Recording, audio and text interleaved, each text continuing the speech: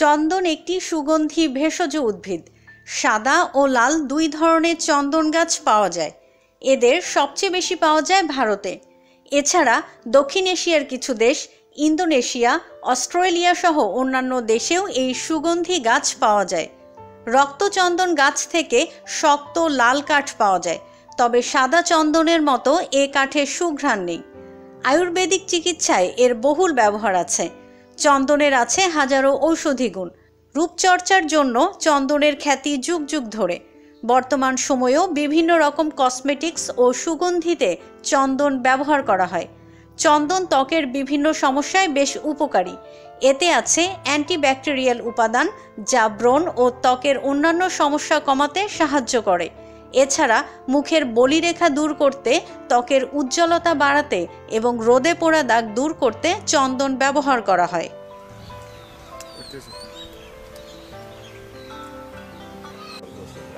টাঙ্গাইলের মধুপুর দোখলা বন বিশ্রামাগারের পাশে রয়েছে একটি রক্তচন্দন গাছ।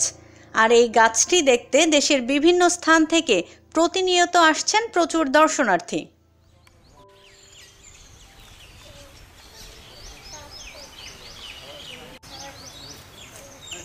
মধুপুরের অরণখোলা মৌজায় সংরক্ষিত বনভূমিতে উনিশশো বাষট্টি সালে নির্মিত বন বিশ্রামাগারটি জাতির জনক বঙ্গবন্ধু শেখ মুজিবুর রহমানের স্মৃতি বিজড়িত।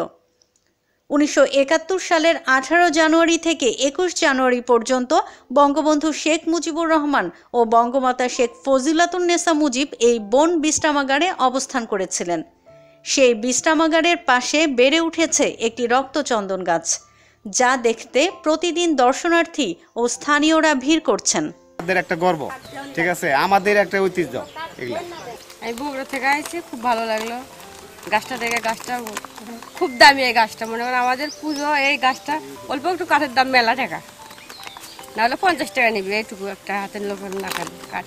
তো আমি চাচ্ছি যে এই গাছটি যেন আমাদের সংরক্ষণ করা হয় যেটা আপনার কলমের মধ্য দিয়ে হোক বা বিভিন্ন ব্যবস্থা প্রক্রিয়াকরণ করে হোক। যেন আমার এটা যেন প্রতিটা জেলায় প্রতিটা থানায় যেন এটা থাক- থাকে। কেননা এটা আমাদের হিন্দু সম্প্রদায় নয় এবং বিভিন্ন কাজে বিভিন্ন সমাজে এবং বিভিন্ন রীতিনীতিতে এটা ব্যবহার হয়। বৃহস্পতিবার থেকে শনিবার পর্যন্ত মানুষের ভিড় বেশি হয়। বিশেষ করে ভারতের পুষ্পা ছবি প্রচারের পর থেকে মানুষের মধ্যে এ গাছটি সম্পর্কে আগ্রহ অনেক গুণ বেড়ে গেছে। এই গাছ কোনোদিনও দেখিনি। আর এই দুবেলা এখানে আমি প্রথমে এই গাছটা দেখতে পেলাম।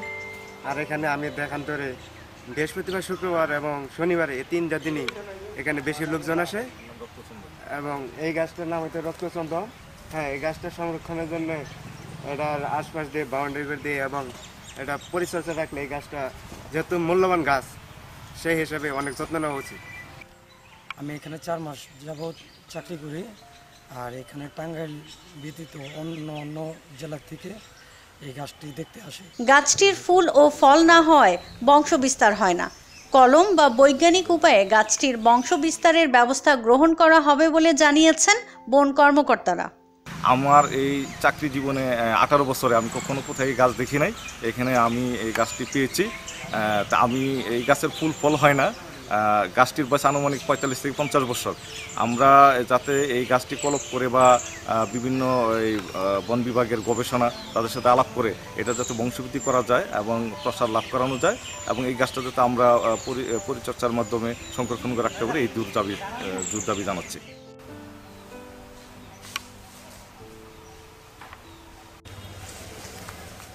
টাঙ্গাইল থেকে কাউসার আহমেদের তথ্য ও ভিডিও নিয়ে report Yasmin Sumi, rising BD dot com.